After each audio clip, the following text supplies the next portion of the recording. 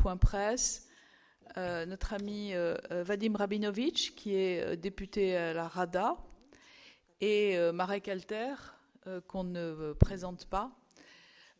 Aujourd'hui, nous allons alerter l'opinion publique sur un sujet très important. Je sais que le lendemain des élections, il y a des choses plus importantes, mais pour nous, aujourd'hui, ce qui va se passer et ce qui se passe en Ukraine est, vraiment très inquiétant.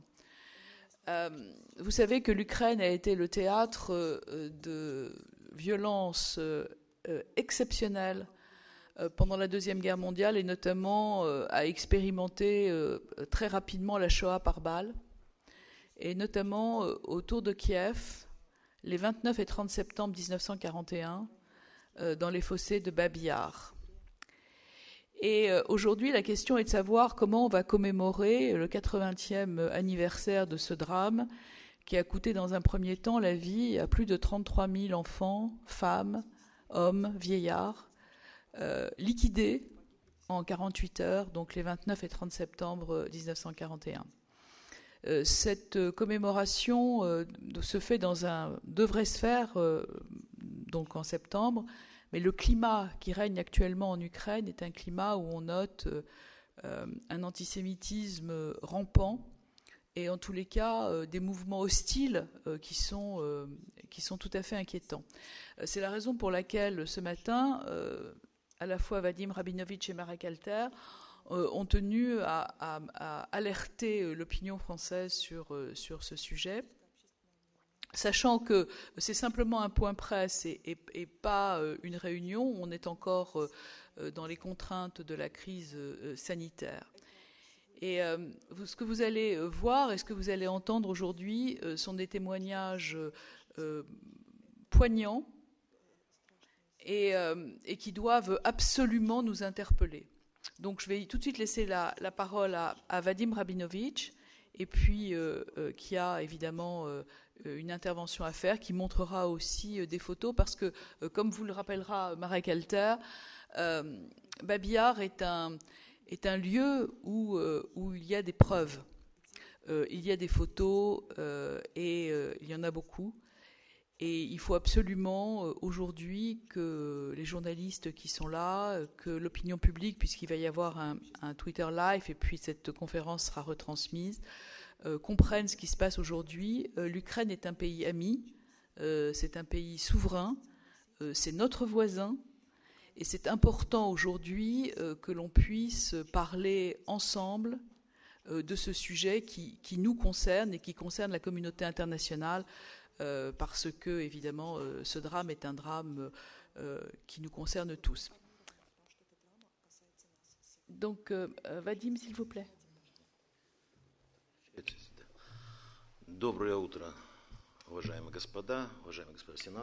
bonjour, mesdames et messieurs. bonjour, madame la sénatrice. Мы с вами собрались в очень э, такое значимое для э, всех людей, бывшего Советского Союза время. Сегодня ночью началась война, Великая Отечественная война.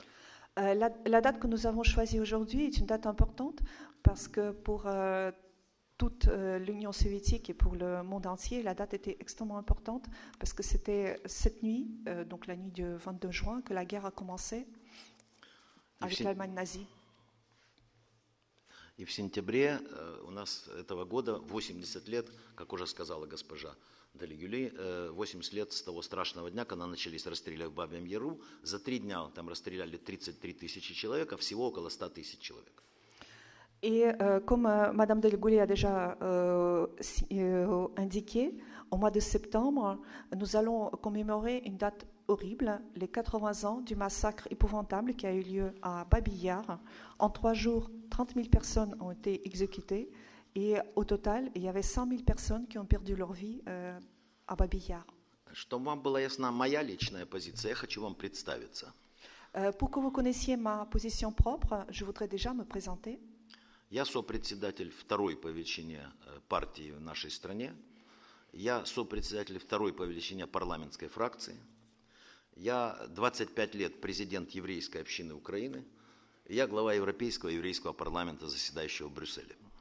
Donc, euh, je me présente. Je suis coprésident du deuxième parti le plus important d'Ukraine. Je suis président de la fraction parlementaire en Ukraine, au Parlement. Et ça fait 25 ans que je dirige euh, l'Union euh, juive d'Ukraine. И когда мне задают вопрос, для чего ты в выходной для Украины, кстати, день приезжаешь во Францию, для чего ты поднимаешь эту тему, я отвечаю очень просто. Если мы забудем то, что было, то, к сожалению, это прошлое опять придет к нам. Et quand on me pose la question, pourquoi est-ce que tu viens en France Pourquoi est-ce que tu te déplaces En plus, euh, je signale aujourd'hui, c'est le jour fé- férié en Ukraine. Euh, pourquoi est-ce que tu viens en France Pourquoi tu perds ton temps Moi, je réponds que c'est extrêmement important parce que si on oublie no- notre passé, euh, tout va recommencer à nouveau. На меня много лет назад произвело неизгладимое впечатление, э, воспоминания Бабы Яра, книга написана, э, такой эпизод, когда э, описывается девочка 6 лет, раздевается перед тем, как ее расстреливают, и говорит маме, мама, э, я же хорошо покушала сегодня, за что меня расстреляют? Et euh, moi, par exemple, je cite toujours euh, un exemple de souvenir. En fait, c'est un vrai, euh, c'est un vrai exemple. Euh, c'est le souvenir d'une petite fille de 6 ans qui se déshabille avant d'être fusillée et qui pose la question à sa maman Maman, mais j'ai bien mangé aujourd'hui, pourquoi est-ce qu'on va me fusiller J'ai été sage Я считаю, что я патриот своей страны, я люблю свою страну, но я хочу, чтобы моя страна помнила прошлое и выросла без фашизма, без того фашизма, который, к сожалению, сейчас во многом поднимает голову. Euh, Moi, je suis patriote de ma patrie, euh, je suis fière de ma patrie, mais je ne veux pas qu'il y ait à nouveau du fascisme en Ukraine parce que ce fascisme se réveille à nouveau, à nouveau en Ukraine. Я думаю, что многие из вас видели, но просто, чтобы пепел вот этих миллионов погибших людей стучал в сердца, просто всмотритесь в то, что происходило в эти дни. Смотритесь в тот ужас, который мы с вами, вот, вот эти люди, которых вели на расстрелы. Вот эти женщины, которых выстраивали на расстрелы. Скажите, мы имеем право такое забывать и молчать об этом? Euh, moi, je pense que vous connaissez déjà ces photos et vous connaissez cette histoire, euh, mais je tiens absolument à vous montrer à nouveau ces photos. Voilà ces hommes, voilà ces femmes, voilà ces enfants qui ont été fusillés. Euh, vous les connaissez sans doute ces photos, mais il y en a beaucoup. Думаю, что вряд ли. И, и очень важно, что сегодня мы говорим об этом э, в, можно сказать, сердце демократии. Именно во Франции была, родилась демократия. И очень важно, чтобы сегодня у страны, которая является союзником Франции, э, Украины, чтобы мы могли сегодня донести до вас то, что происходит, чтобы вы помогли нашей Украине в борьбе с фашизмом. Et moi, je suis très fière de parler aujourd'hui ici, au cœur de la démocratie, parce que pour moi, c'est la France qui est le cœur de la démocratie. C'est ici que la démocratie est née. C'est son cœur, il se trouve toujours ici, il bat ici. Et c'est très important pour moi de parler ici, parce qu'en fait, euh, je pense que c'est le pays qui pourrait nous aider, nous en Ukraine, de combattre à nouveau le fascisme qui renaît. У нас очень много различных националистических, патриотических организаций, но мы о них даже говорить сегодня не будем. Nous avons énormément de partis euh, nationalistes, partis euh, démocratiques, mais on va pas les évoquer aujourd'hui. Я скажу только о том, что вызывает наибольший гнев и у меня, и у всех здравых людей. Moi, je parlerai que de la partie qui provoque la colère de tous les gens euh, de bonne foi.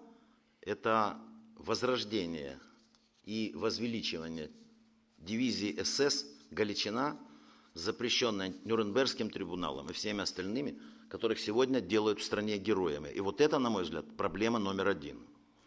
Moi, je parlerai que d'un sujet, c'est euh, le respect et les honneurs qui sont accordés aujourd'hui à la division SS euh, Galicie, qui a été pourtant condamnée par le tribunal de Nuremberg, Я, et хот- qui sont actuellement mises à l'honneur et euh, fêtées en Ukraine.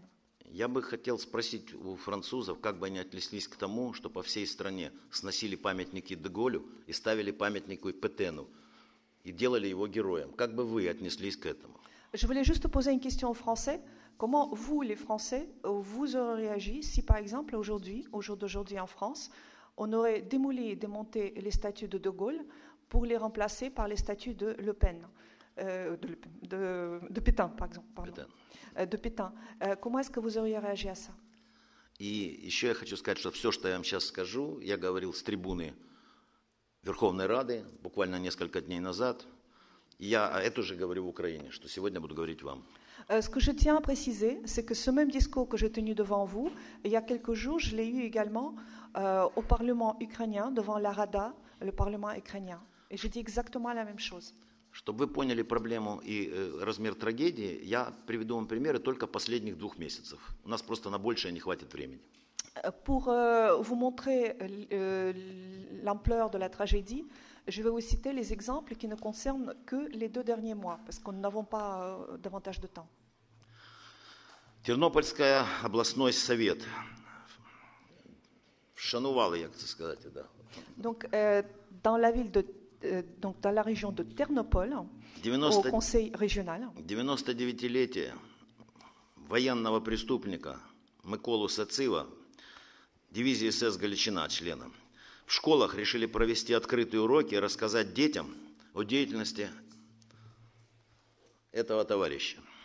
Euh, donc, euh, donc, je répète, la- le conseil régional de Ternopol a pris la décision euh, de euh, commémorer les 99 ans de Mikolo Satsiv, qui est un criminel euh, SS qui faisait partie de la division Galicie. Et euh, pour ce faire, la commémoration s'est organisée de cette façon, faire des leçons ouvertes dans les écoles de Ternopol pour parler euh, aux enfants ukrainiens de ce criminel nazi. В школах принято решение провести слушание о деятельности замечательного патриота в кавычках Кубиевича, эсэсовца, пособника фашистов. Фотографии, которые я предъявлял в Верховной Раде его вместе с офицерами СС. Он пособник фашистов, участвующий в расстрелах миллионов людей. Ну, давайте скажем, тысяч людей, евреев и поляков. Euh, un autre exemple, euh, la commémoration euh, d'un certain Kubijovic, euh, dont j'ai les photos avec les officiers SS côte à côte, qui a été, euh, qui a,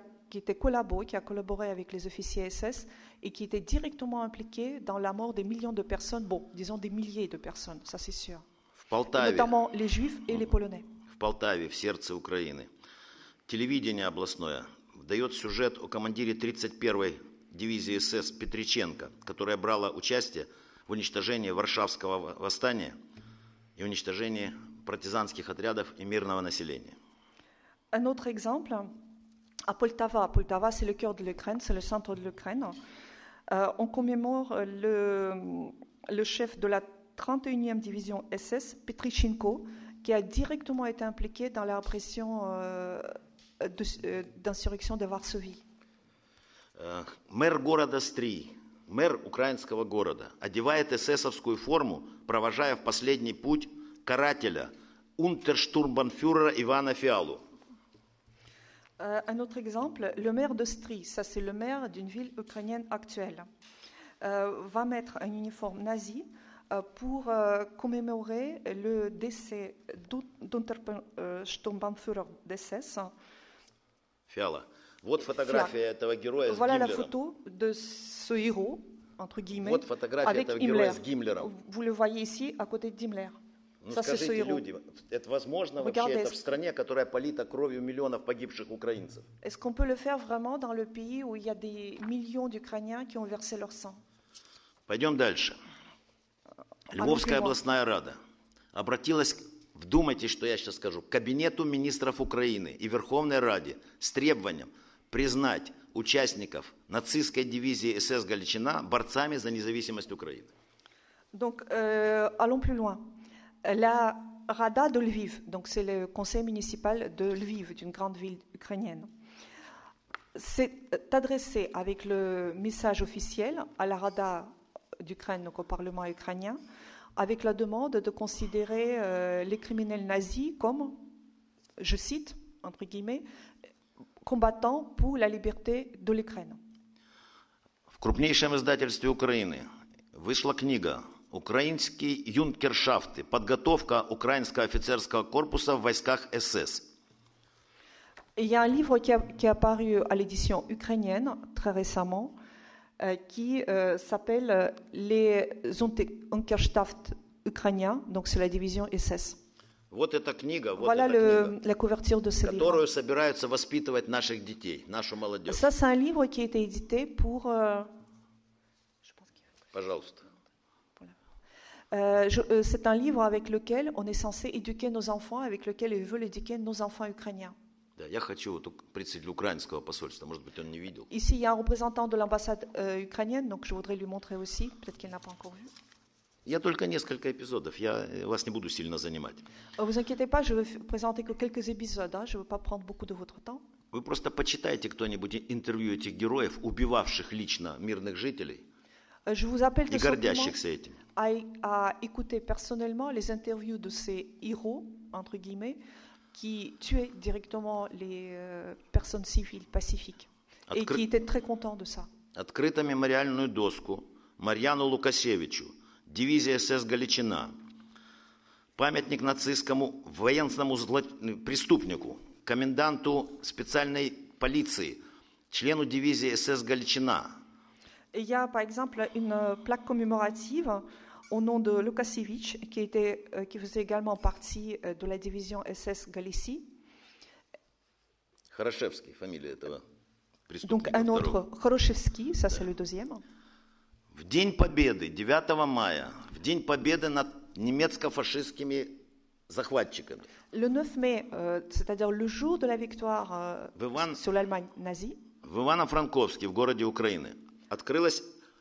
специальное от- мероприятие такое, открытие мемориальной доски в честь ветерана нацистской дивизии СС Галичина Мулыка. Donc, euh, à Ivano-Frankovsk, en Ukraine, euh, on a euh, ouvert une nouvelle plaque commémora- commémorative consacrée à Moulak, qui effectivement faisait partie aussi de cette division SS Gali- Galicie. А также э, открыта мемориальная доска и вы- выпущена специальная биография большого э, человека, штурмбанфюрера СС Евгения Побегущего. Un autre, Pobiguchi, et la biographie apparue, il était euh, Sturmbannführer SS. Вот этот человек, Наталья. Вот человек, вот человек, вот человек, извините. Вот человек, которому мы ставим памятники сегодня Cet homme, actuellement, a des monuments qui sont érigés à son honneur. в победившей Украине. Я напоминаю, в стране, которая вместе с американцами, русскими, англичанами и французами одна из больше внесла вклад в победу над фашизмом. И миллионы людей погибли. И вот этим людям ставят сегодня памятник. Je vous rappelle que l'Ukraine fait partie des grandes nations qui ont vaincu avec euh, les États-Unis, avec la Russie, qui ont vaincu l'Allemagne nazie. Et maintenant, dans cette même Ukraine qui a remporté cette victoire et qui a payé très cher, on érige les monuments à cette personne. И, наконец, последняя, э, самая фантастическая история. Несколько дней назад на- в Киеве прошла торжественная церемония прощания с ветераном дивизии СС «Галичина» Арестом Васкулом. Et euh, la cerise euh, sur le gâteau, si, si on peut le dire, donc le plus, le plus important, euh, là j'ai des photos qui sont faites à Kiev, donc la capitale d'Ukraine, euh, de l'enterrement solennel de vétérans euh, de la division SS А теперь, Galicie au reste а теперь хочу обратить ваше внимание. Впервые в истории Украины в последний путь эсэсовца провожали с государственными почестями рота почетного караула президентского полка вооруженных сил Украины. А сразу вместе с ним активисты так называемой организации, члены резерва дивизии СС «Галичина». Et euh, le plus important, non seulement donc il y avait cet enterrement solennel, mais il était accompagné par euh, la garde personnelle présidentielle qui l'a accompagné donc cette, euh, ce criminel nazi SS avec toutes les honneurs d'État. Я хочу вам сказать, что таких, к сожалению, фактов очень много. Я повторяю, я говорю только сегодня, есть очень много о чем говорить, я говорю только о эсэсовцев, о возвеличивании эсэсовцев, убийц, той организации, которая Нюрнбергским трибуналом и во всем мире считается преступной. Euh, il y a beaucoup d'autres faits à évoquer, mais je me limite uniquement aux faits qui, sera- euh, qui se reportent directement euh, aux criminels SS, condamnés par le tribunal de Nuremberg. Вот этот герой, который второй еще, герой расстреливает людей. Voilà ce deuxième héros qui fusille les gens. Почему я еще поднимаю эту тему? Если все это оставалось только в прошлом, ну, наверное, можно было поплакать и забыть. Euh, pourquoi est-ce que je, je soulève encore ce sujet Si c'était que du passé, peut-être qu'on pouvait l'oublier. Но, к сожалению, это у нас сегодня на улицах и в нашей стране. Сегодня возрождение фашизма идет сегодня. Mais malheureusement, ce qu'on voit dans les rues d'Ukraine actuellement, c'est que le fascisme renaît. Я вам покажу сейчас вчерашний день нашей страны. Вчера. Là, je vous montrais juste les images Вот de вчера notre судья pays d'hier. Конституционного суда Ça, c'est, ce sont les Домой. images d'hier, j'insiste. домой, вот, пожалуйста, домой, Là, с regardez. факелами, с вот такими вот нацистскими лозунгами пришли так называемые националисты. Ça, c'est euh, au- donc c'est les nationalistes entre guillemets qui sont venus, donc vous voyez, avec ces flambeaux et ces symboles nazis. Нельзя упрощать проблему, которая есть у нас. Многие считают, что вот поменяется та или иная там политик, и все сойдет на нет. Il ne faut pas simplifier le problème que nous avons chez nous. Il ne faut pas dire euh, les politiciens vont changer et le problème il y aura plus. Сейчас многие считают, что есть шансы на следующих президентских выборах у европейского мэра Кличко. Euh, Certains considèrent que peut-être pour la course présidentielle future, euh, le maire européen pro-européen Klitschko a une chance. Да. Вот вчера проведены обыски э, в э, так называемой э, Варте, ну это с- от- от- набранные добровольцы, которые с бюджета платят, чтобы охраняли подарок- по- порядок в Киеве. Euh, hier, par exemple, il y a eu des perquisitions euh, chez Arta. Qu'est-ce que c'est Ce sont les formations volontaires qui, euh, bon, entre guillemets, protègent l'ordre euh, dans la ville. Напоминаю, центр европейской столицы. Гранатометы незаконные. Вот, пожалуйста. Là, je vous, je vous rappelle et je vous montre encore une fois. Гранатометы, Donc ça, c'est Оружие. la- le centre de la capitale européenne. оружие. Vous voyez Вчера ici. изъятое. Вчера изъятое Là, vous voyez les mitrailleuses. у мэра европейской столицы. Là, les Вчера. perquisitions. Et ça, ce sont les Вот это perquisitions SBU проводила chez le обыск. maire de la capitale européenne hier. Je précise hier. Вот эти борцы. Ça, ce sont ces euh, combattants. Что я хочу вам сказать? Миллионы погибших людей. Qu'est-ce que je voulais vous dire Il y a des millions de gens qui ont péri. Если мы дадим сегодня поднять и возвеличивать дивизию СС Галичина, ну, наверное, мы недостойные э, потомки тех великих людей. Si maintenant on autorise qu'on fasse des honneurs à des criminels SS de la division euh, Galicie, c'est que nous ne sommes pas à la hauteur de nos ancêtres. 80 лет Бабину Яру. Многие Яр- думали, что они приедут туда, и мы откроем памятники, будем праздновать что-то. Хотя бы торжественно отмечать. Babi Yar a- aura 80 ans cette année. Certains pensaient qu'ils pourront venir peut-être ouvrir un autre monument ou commémorer, euh, cet événement sur place. Должен вас расстроить. Malheureusement, je dois vous décevoir. Ничего никто не построит, ничего там не дают строить, никто ничего. Президент объявил, что мы построим там памятник. Полуфашистские организации сказали, что мы не дадим этого сделать. Как вы думаете, кто победил? Посмотрите, когда вы приедете, кто хочет приехать и посмотреть. Ничего нет в Бабьем Яру. Ничего. Маленькая минора, которая поставлена 25 лет назад, на которой раз в три дня вытирают фашистские кресты, которые кто-то рисует. Euh, c- cette année, effectivement, on pensait éventuellement à inaugurer un autre monument. Le président, d'ailleurs, a promis ce monument, mais euh, ces organisations euh, que- que je dirais- que je nomme- j'appellerais à demi nazies, à demi fascistes, ont protesté. Le résultat, il n'y aura rien du tout. Il n'y aura pas de nouveau monument.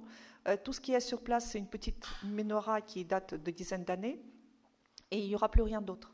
И в моих словах нет даже критики какой-то или политики, или критики власти. Наоборот, я хочу, чтобы мы помогли, в том числе и нашей власти, избавиться от фашизма. Потому что Франции прислушиваются в нашей стране.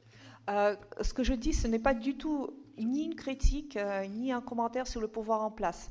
Moi, ce que je veux plutôt, c'est aider le pouvoir en place aujourd'hui à se débarrasser définitivement du fascisme. Спасибо. Merci. Euh, merci euh, Vadim Rabinovitch, c'est un peu euh, glaçant. Euh, je vais donner la parole à, à Marek Alter qui connaît euh, si bien la question. Je vous en prie, Marek. Ou l'autre, comme vous Bon, voulez. si bien la question. Euh, Je me suis toujours posé la question à quoi sert la mémoire? À pourquoi faire? La Bible répète 168 fois, 168 fois, Zachor, Zachor, souviens-toi, souviens-toi. Pourquoi faire? Pour qu'on n'oublie pas. Quand on oublie, on refait les mêmes crimes qu'on a subis il y a des siècles. Babillard est une, euh, c'est une histoire terrible. Nous avons en France un homme, Patrick Desbois, qui était chargé par Jean-Paul II, le pape, d'aller rechercher les fosses communes en Ukraine de tous ces gens qui sont morts sans sépulture. Il a fait un livre gros comme ça. Quand les nazis sont rentrés en 1941 en, en Ukraine, ils n'avaient pas encore commencé cette liquidation industrielle des Juifs qu'on connaît et dont parle Auschwitz, Sobibor, Majdanek, Tremblinka et tous les camps que nous connaissons. Ils liquidaient par balles. Et il y avait, à côté de Kiev, des fosses qu'on appelait des, des ravins des grands-mères, Babilla. Et c'est là qu'ils ont commencé la liquidation d'un peuple auquel j'appartiens. Moi-même, je suis né dans le ghetto de Varsovie. Ils ont amené des gens, ils ont fait déshabiller. J'ai des photos qui sont horribles. Hein. On voit des gens déshabillés, nus, qu'on amenait au bord des fossés. Il y a là un vieux Ukrainien qui profite pour toucher les fesses d'une femme qui allait être fusillée. Bravo, il a touché des fesses d'une juive. Et c'est par vagues. On faisait venir, on les faisait agenouiller, ils voyaient ceux, les cadavres de ceux qui les ont précédés, et c'est ainsi pendant 36 heures.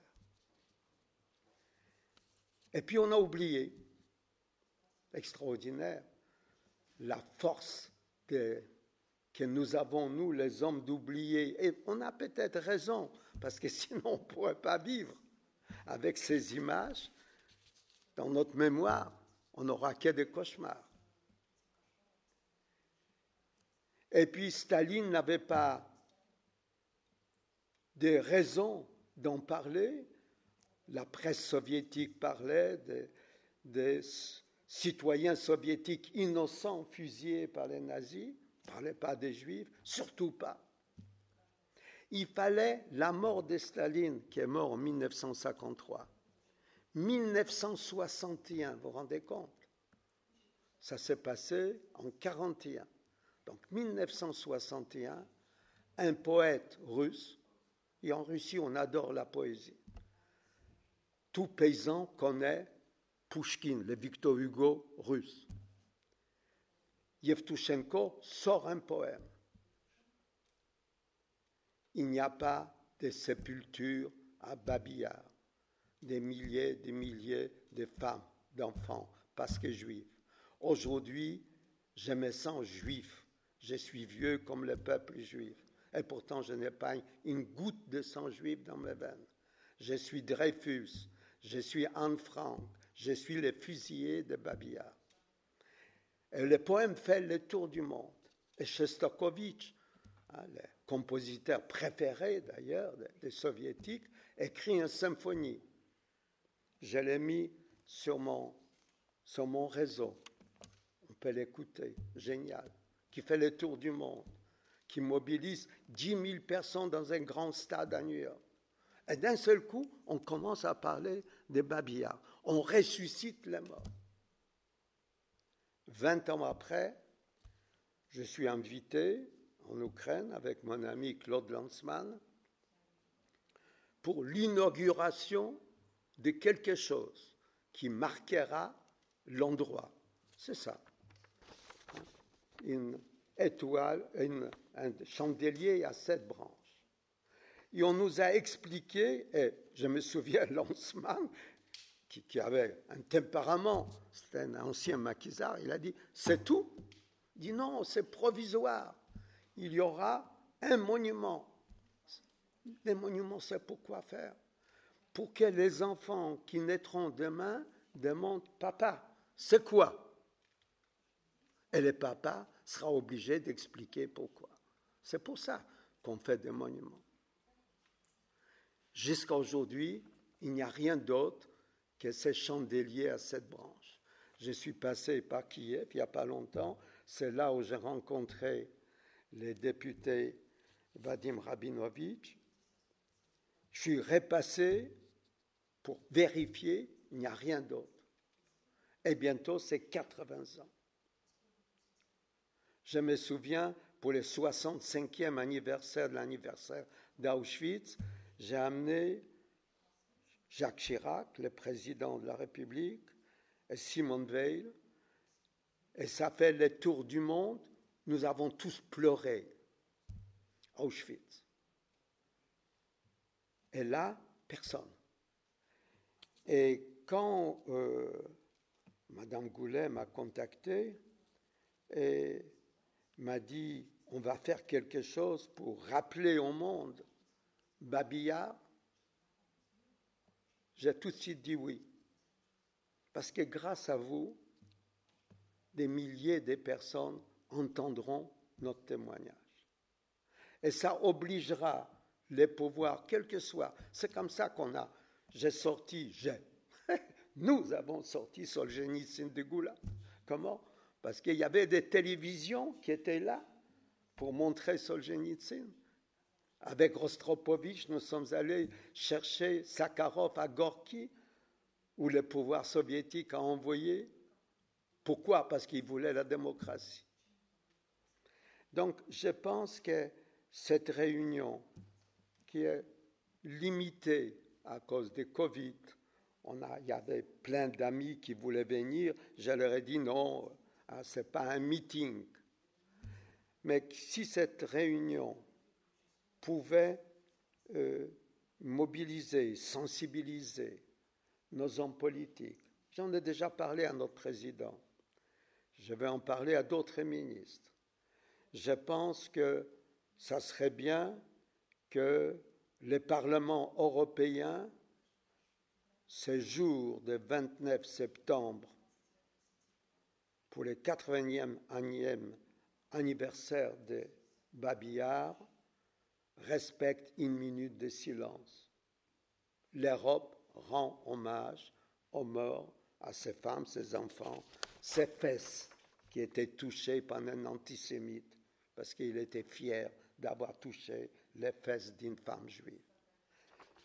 Voilà ce que je voulais vous dire. Et bien sûr, si vous avez des questions, je serai heureux de pouvoir répondre.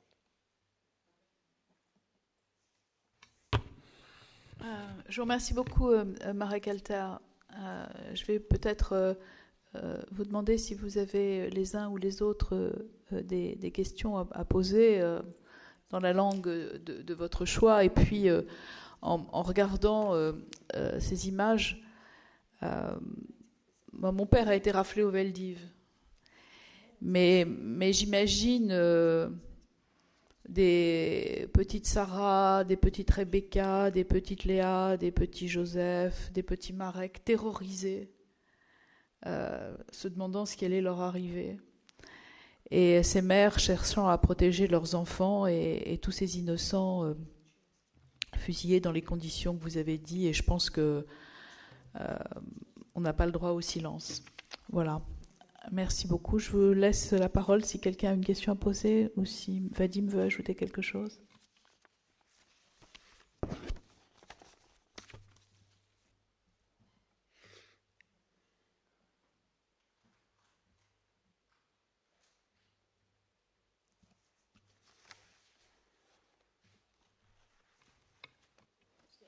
S'il n'y a pas de questions, nous allons, euh, nous allons clôturer. Il me revient donc euh, la lourde tâche de transmettre ce message euh, euh, dans cette maison. Marie Calter, je sais que vous allez m'aider avec le, président du Sénat, avec mes collègues.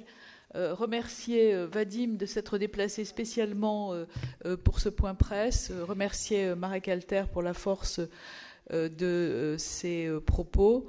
Et puis mettre en, en grand Zahor, c'est-à-dire souviens-toi. Souviens-toi et n'oublie pas. Voilà, merci.